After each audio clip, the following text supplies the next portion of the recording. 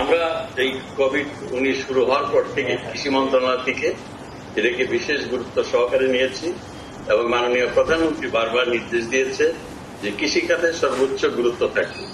দোকানপাট বন্ধ থাকলেও শিল্প কারখানা বন্ধ থাকবে সবাইকে খেতে হবে, খাওয়ার নিশ্চয়তা দিতে হবে।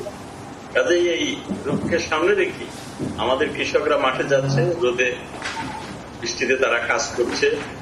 ইতিমধ্যেই আমরা আমাদের জন্য একটা বড় ফসল ছিল বুড়ো সেটা আমরা হারভেস্ট করেছি অত্যন্ত সফলভাবে। আমাদের কৃষকরা অত্যন্ত সফলভাবে তারা ঘরে তুলেছে। এই মুহূর্তে আমাদের মৌসুমের মূল যে ফলগুলো, আম, কাঁঠাল, আনারস, লিচু, এগুলো আসছে, এগুলা এই মুহূর্তে বাজারজাতকরণ হচ্ছে। প্রথম দিকে বিভিন্ন ফল, শাক, সবজি বাজারজাতকরণে অনেক সমস্যা হলো। এই মুহূর্তে তেমন কোনো সমস্যা নাই। যেহেতু পরিবহন চলছে, মানুষের খাওয়ার প্রয়োজন রয়েছে। কম বেশি দামে তারা মোটামুটি চাষিরা তাদের ফসল, বিশেষ করে শাকসবজি, ফলমূল বিক্রি করতে পারছে। আমার কাছে যে তথ্য আছে, তাতে আমেরও একটা তারা ভালো দাম পাচ্ছে। আমরা এই ব্যাপারে এর আগে একটা সভা করেছিলাম। সেই সভায় প্রায় নব্বই জনের মতো স্টেক হোল্ডার বা যারা এর সাথে জড়িত শাকসবজি, ফলমূল, বিভিন্ন কৃষি পণ্য তাদেরকে আমরা সম্পৃক্ত করেছিলাম। এই মিটিং এ আমাদের সাথে সাবেক মন্ত্রী মতিয়া চৌধুরী সহ অনেক অর্থনীতিবিদ, আবার এদিকে ফল চাষি, ফল বাগানের মালিক আড়তদার পাইকার, কোরিয়ার বিভিন্ন ব্যবসায়ী তাদেরকেও আমরা সংযুক্ত করেছিলাম, তাদের কাছ থেকে পরামর্শ নিয়েছি। সেই পরামর্শ অনুযায়ী আমাদের প্রশাসন ডিসিএসপি আমাদের কৃষি মন্ত্রণালয়ের একদম ইউনিয়ন পর্যায় পর্যন্ত আমাদের যারা কর্মকর্তা রয়েছে, উপজেলা, জেলা পর্যায়ে, তারা কঠোর পরিশ্রম করেছে, চাষিদের সাথে যোগাযোগ করেছে, পরিবহনের সাথে যোগাযোগ করেছে।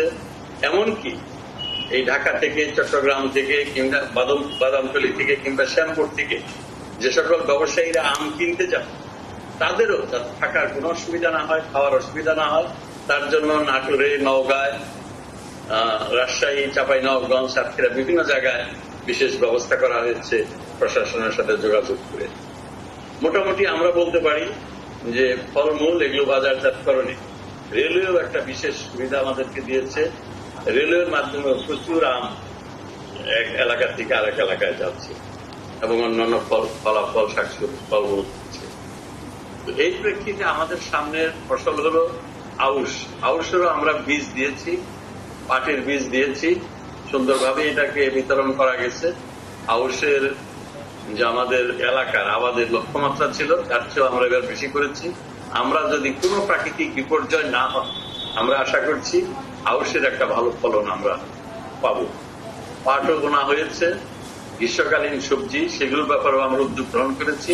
আমাদের সামনে এখন চ্যালেঞ্জ হলো এই দেশের ক্রান্তি লগ্ন। আরেকটি বড় ফসল আমন। সেই আমন কীভাবে করা যায়? আমনের গতানুগতিক জাত দিয়ে যদি আমরা করি, তাহলে আমরা সফল হতে পারব না। নতুন কি কি জাত আছে? সেই জাতগুলো আরও বেশি করে আমরা করতে পারি, যেগুলো উচ্চ ফলনশীল জাত। যেমন বায়ার বলছে যে তারা কিছু বীজ আমাদের ইতিমধ্যেই দিয়েছে, হাইব্রিড। তিরিশ ভাগ প্রচলিত উচ্চ ফলনশীল জাতের চেয়ে তার উৎপাদন হাইব্রিড। সেটি যদি হয়, তিরিশ ভাগ কিন্তু অনেক বড় ব্যাপার। যে কোনো ফসলের তিরিশ ভাগ উৎপাদন বৃদ্ধি করা, ফলন বৃদ্ধি করা, এটা অনেক বড় সাফল্য এবং বড় একটা অগ্রগতি। এইটাকে যদি আমরা করতে পারি, তাহলে আমাদের একটা বড় সাফল্য আসবে। তাছাড়া আমন আবার ঝুঁকিপূর্ণ বন্যা হতে পারে, বন্যার দুটা দিক আছে। বন্যার কারণে প্ল্যান্টেশন অর্থাৎ রোয়া লাগান, আমন ধান লাগানো দেরি হতে পারে। অথবা আমরা যদি সময় মতো লাগাই লেট বন্যার জন্য। অর্থাৎ বন্যা যদি দেরিতে আসে, অনেক ফসল নষ্ট হয়ে যেতে পারে। এমনই একটা ঝুঁকি আমনের মধ্যে রয়েছে। দ্বিতীয়ত আমরা জানি, যখন আমনের গ্রেন ফিলিং স্টেজ যেটাকে বলি আমরা দানা পুষ্টি হবে, সেই পুষ্টির সময়, অক্টোবর মাসে অনেক সময় লম্বা খরা হয়, সেই খরাতে পুষ্টি ভালো হয় না এবং ধানের উৎপাদন ভালো হয়। তো সেটিও একটা আমাদের জন্য ঝুঁকি আছে। এই ঝুঁকিগুলো সামনে নিয়ে আমনের লক্ষ্য, আমনের লক্ষ্যমাত্রা, অর্থাৎ উৎপাদনের লক্ষ্যমাত্রা আমাদের নির্ধারণ করতে হবে এবং সেটিকে অর্জন করতে হবে।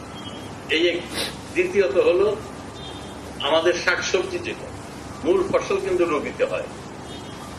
এই ফুলকপি, বাঁধাকপি, লাউ যদিও লাউ এখন গ্রীষ্মকালেও হচ্ছে, সিম, অনেক ফসল যেগুলো শীতকাল হয়, শীতকাল আমাদের সবজির জন্য খুবই প্রসিদ্ধ।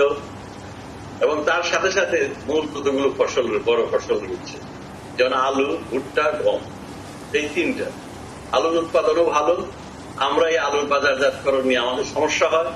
আমরা এই বছর চিন্তা করেছি যে কিছু আম- উচ্চ ড্রাইভেটার সহ আমরা কিছু আম- আলুর জাত এবার এনেছি। আলুকে আমরা উন্মুক্ত করে দিয়েছি। অনেক প্রাইভেট কোম্পানি সেই আলুর বীজগুলো এনেছে। এই আলুর বীজগুলো আমরা উৎপাদন করতে পারি। কি এগুলো চাষিকে দিয়ে প্রয়োজনে এখনই এলসি খুলে এই আলুর জন্য আগামী বছর এবং তার পরের বছরের জন্য আমরা একটা পরিকল্পনা করতে পারি। এই বীজগুলো আমরা যতটা সম্ভব করব করে বীজের পরিমাণ বাড়াবো এবং উৎপাদন বাড়াবো। এবং আগামী বছরের পরের বছর আমাদের লক্ষ্য হবে যাতে আমরা এই আলু নিয়ে উচ্চ, সুস্থ ড্রাই ম্যাটার নিয়ে এই আলুগুলো আমরা আন্তর্জাতিক বাজারে যেতে পারি। আন্তর্জাতিক বাজারে যে সকল যেমন চিপস ফ্রেঞ্চ ফ্রাই তারপরে ফিঙ্গার এই ধরনের প্রক্রিয়াজাত করার জন্য যে সকল আলুর দরকার হয়, সেগুলো নিয়ে যাতে আমরা আন্তর্জাতিক বাজারে আমাদের ভুট্টা, ভুট্টার উৎপাদন ভালো, এখনও ভুট্টা কিছুটা আমাদেরকে আমদানি করতে হবে যাতে না করতে হয়, ভুট্টার উৎপাদন আমাদেরকে বাড়াতে দেশের দক্ষিণ অঞ্চলে এখন ভুট্টা করা সম্ভব।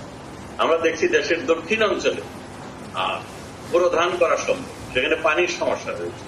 সেই পানির সমস্যা এখন থেকে বিএডিসি কে চিন্তা করতে হবে, কৃষি সম্প্রসারণ অধিদপ্তরকে চিন্তা করতে হবে যে কত এলাকায় আমরা এই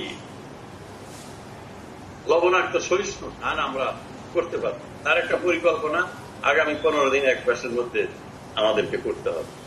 আগামী বিশেষ করে সমতল ভূমিতে অসুবিধা নাই, আমরা জানি পুরো এটা হবে, কিন্তু দক্ষিণাঞ্চল, অর্থাৎ প্রতিকূল পরিবেশে কীভাবে আমরা আলু করতে পারব, কীভাবে আমরা যদি ভুট্টা করা যায়, করতে পারব।